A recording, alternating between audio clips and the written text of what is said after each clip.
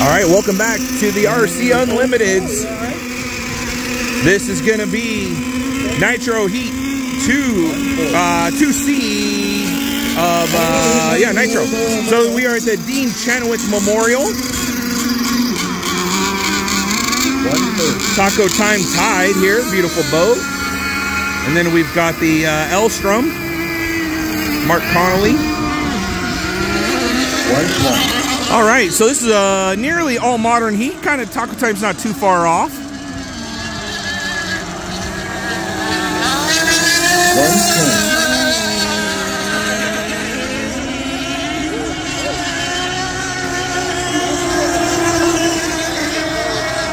One minute. Fifty-five. Fifty. 55 seconds left in the mill here. Oh no. These guys got together pretty close here on the front stretch. That's not what you want to be doing in the mill. Thirty. Twenty-nine. All right, final 30 seconds now. Things are going to start heating up. Twenty-four. Twenty-three. Twenty-two. Twenty-one. Keeping an eye here on Jim 20, Putage. 19, 8, 17, 16, 15.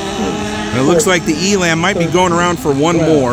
11, 10, 9, It's going to have to. He's way early. 6, Got a lap penalty on the Elam. 3, Takes a one lap penalty. 1.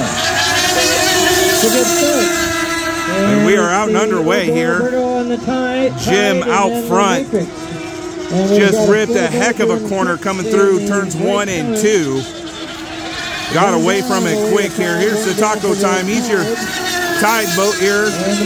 Your second place boat, Matrix in three. We'll keep an eye on the tide here as we haven't seen much of him.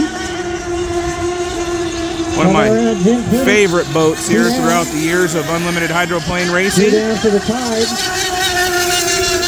Although I prefer the regular tide, not the taco time tide. But man, I love me a bright orange boat. Big old hop, skip, and a jump here for Jim Putage in the Oberto. Jimmy out here just running away with this one. boat backstretch about lane 12, He's got her dialed in today.